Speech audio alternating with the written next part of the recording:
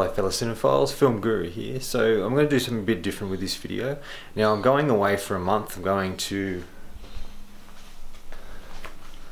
I'm going to Paris and so I won't be putting up so I won't be putting up any videos for a month. Um, so I've got a couple more to put up. Um, a review for a simple favor and the predator and then after that then there's going to be no more for a month. If i do get to see any films while i'm away i will do reviews of those but i won't be able to put them up until october when i come back. I just want to say thank you for all my followers people who watch my channel and and uh, watch my reviews and give a lot of positive feedback i really appreciate and i want to thank you all for being able to do that for me um, and helping me get better and better at this sort of thing. I know I'm not fantastic yet, but I will get better and better as we go along.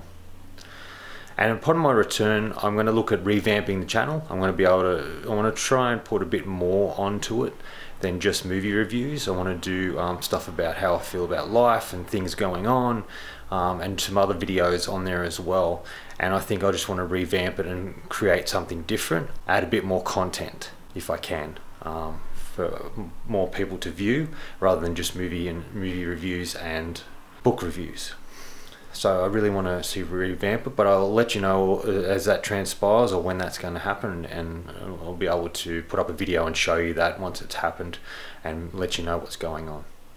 But anyway, I just thought I'd do a little video and talk about a little bit about how things are going to change and what's going to happen for the next month. So if you are looking for reviews on my channel and you haven't seen any for a while, that's just why, because I've gone away.